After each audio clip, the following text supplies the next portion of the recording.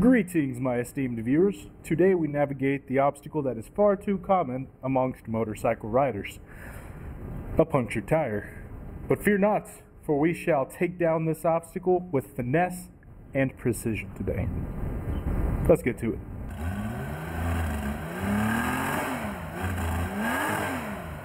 Plugging a tire on the side of the road is a skill that every single motorcycle, from novelists to master riders, should know and be proficient at. Unless you ride tires with tubes in them, then this probably isn't the video for you.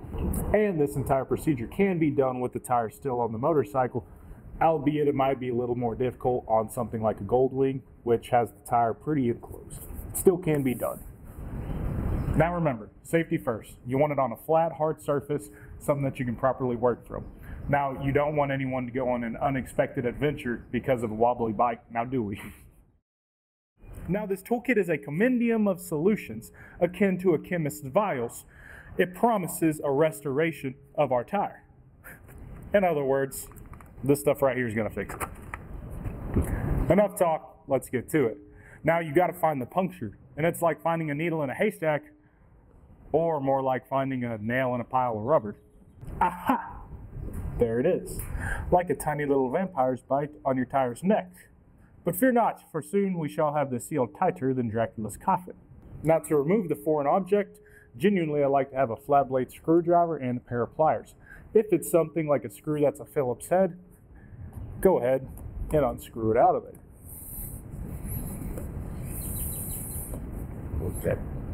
But I do carry a flathead screwdriver and a pair of needle nose pliers in my toolkit for this specific reason. Now, sure, if the foreign body's still in there, you could use some slime. But where's the character building in that? If you're doing this with the tire still on the motorcycle, go ahead and park it in a way that it's easy to access this while it's still on the bike. And then if you leave your motorcycle in gear, it'll act like a parking brake. You don't want it rolling. Okay. Once you got the foreign object removed, congrats.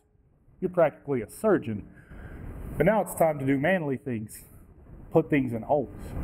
So first we must widen the hole. Insert your tire reamer inside the hole and repeatedly push it in and pull it out for about 10 strokes. Now, quite frankly, that's more than enough for the average man, certainly enough for your average tire. Grab your tire plugs and your tire plug insertion tool.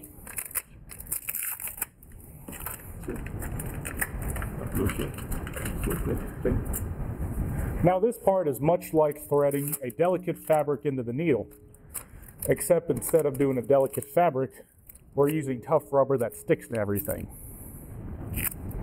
Oh,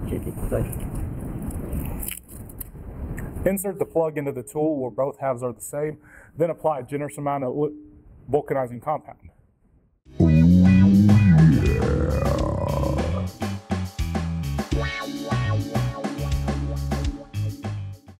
I'm just going to rub it all over the tire plug.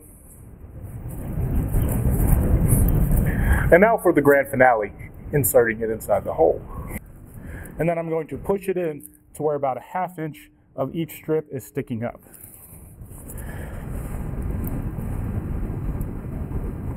Now remember to push slowly. If you push it too fast, you might push one of the ends on the inside of the tire and you might possibly need another plug.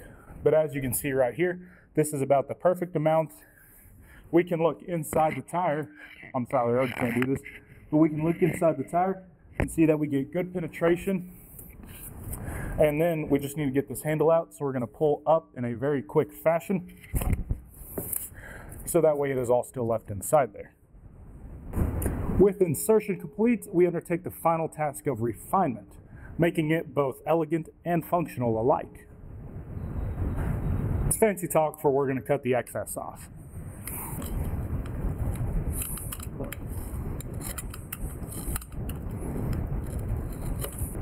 The final chapter in this book is ensuring that it isn't leaking. You can do it the rudimentary way, which is my preferred method, of spitting on it and checking for air bubbles. If you're a more refined, classic gentleman, you can take a water bottle and put water on and check for bubbles that way. Now remember, technically this is temporary. You should go get it fixed professionally, blah, blah, blah, blah.